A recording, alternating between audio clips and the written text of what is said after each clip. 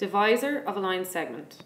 Suppose that A is equal to x1, y1 and B is equal to x2, y2. Let C divide AB internally in the ratio A to B.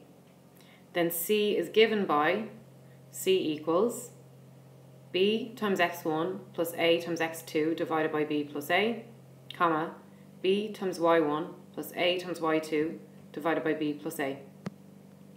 So this is the formula that we're going to use to work out this question. If A is equal to 3 minus 1 and B is equal to minus 9, 1, find the coordinates of the point C which divides AB in the ratio of 3 to 1. So very important that when we label our coordinates A and B, since the A came first, the A must be x1, y1, and the B must be x2, y2. So please be careful to note which point is which and the order of the ratio. So 3 to 1. 3 comes first, 1 comes second. So our formula is C equals B times x1 plus A2 divided by B plus A, comma, B times y1 plus A times y2 divided by B plus A. So we're going to swap the B for 1 because our ratio is 3 to 1. So we're going to have 1 multiplied by the x1, which is going to be 3.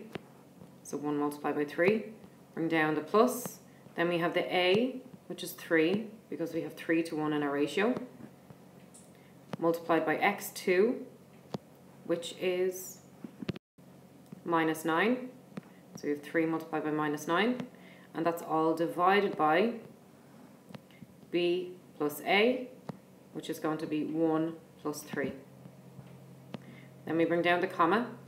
Then we have b, again, which is 1, multiplied by y1, which is minus 1. Bring down the plus. Then we have a, which is 3, multiplied by y2, which is 1. And again, that's all divided by b plus a, which is 1 plus 3.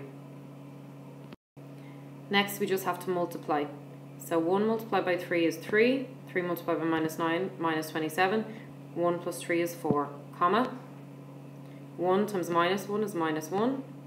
3 times 1 is 3. And 1 plus 3 is 4.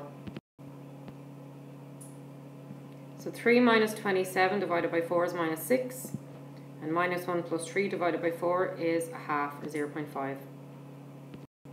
So the coordinates of the point C, which divides AB in the ratio of 3 to 1, is minus six and a half.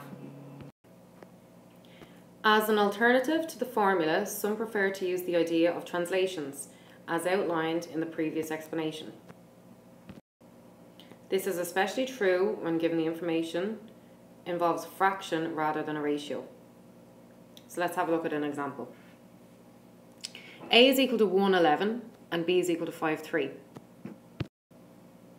The point C belongs to AB such that AC is 3 quarters AB. Find the coordinates of C. So the first thing to do is to draw a rough diagram. Then we have to convert the given information into a ratio we can work with. So we have the line AB, so we just start drawing a line, labeling one point A and the other point B. We're told that C is a point along AB such that from A to C is 3 quarters of AB. So what we're going to do is separate our line into four sections. So I have roughly one, two, three, four sections. So I'm told that the point C belongs to AB such that AC is 3 quarters of AB. So starting at A and moving along one, two, three quarters, we can plot the point C. So from A to C is three quarters of AB. So from A to C is three quarters, one, two, three. Then obviously from C to B must be one quarter. So now we can write our ratio. We have three parts to one part. Three quarters to one quarter. So our ratio is three to one.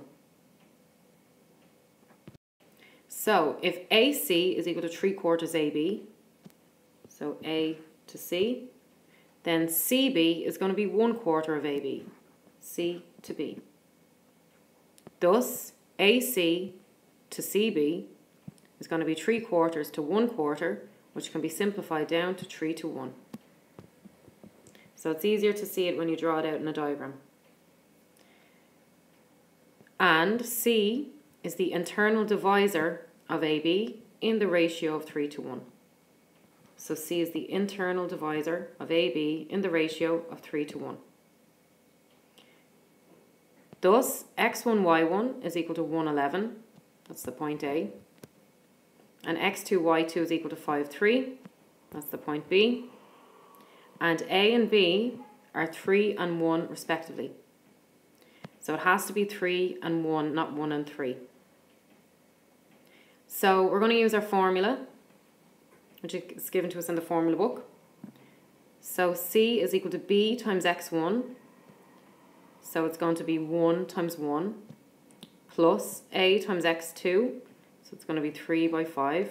All that's divided by B plus A. So divided by 1 plus 3, comma, B times y1, so 1 times 11, plus A times y2, so 3 times 3, and all of that's divided by b plus a, so 1 plus 3.